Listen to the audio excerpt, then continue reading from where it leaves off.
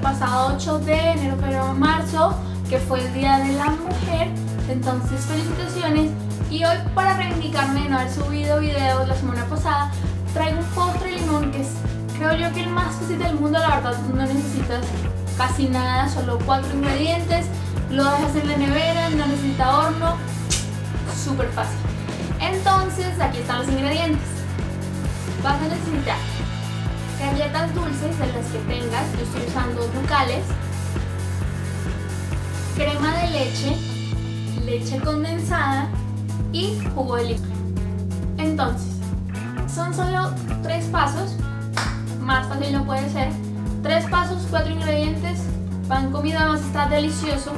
Entonces, en una licuadora vas a poner tu jugo de limón, tu leche condensada y tu crema de leche.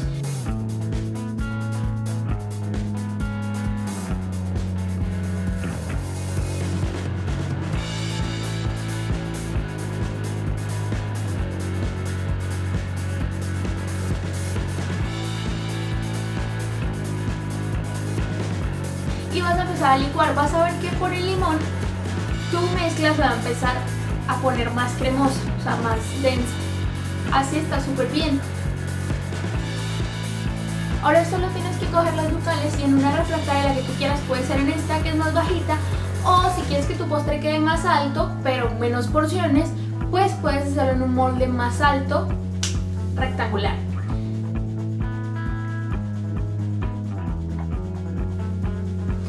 Entonces en el fondo vas a poner una capa de galleta, una capa de tu mezcla, capa de galletas, capa de mezcla, capa de galletas, capa de mezcla y listo.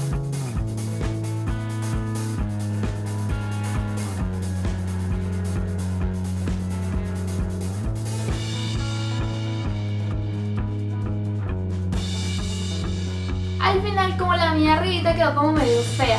Tú lo puedes dejar así y solo poner un poquito de ralladura que es como lo que normalmente se hace mía se un poco feita. Entonces lo que yo hice fue triturar de las galletitas que me sobraron, las trituré bien y a eso le eché la ralladura de limón.